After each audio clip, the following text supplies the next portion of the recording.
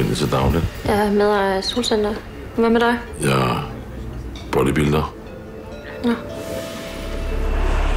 Hvor har du været? Jeg har været i biografen med Lars.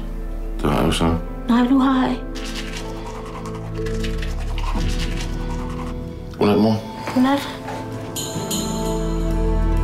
Det er jo ikke, fordi jeg sådan er en taler i den forstand. I wish the best for our future, for you and me.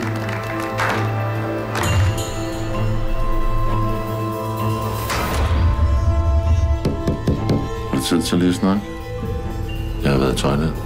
Hvad for noget?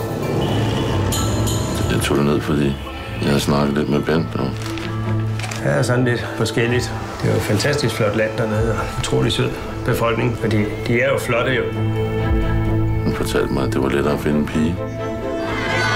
We have some very, very nice young ladies here. We like big tits or small tits. Or maybe you want someone young. Very big muscle. Can you show me your muscle?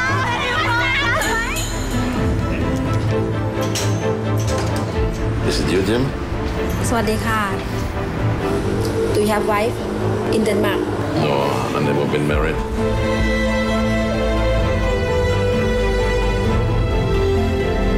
Vil du godt være sød og gå ud nu? Skrid med dig!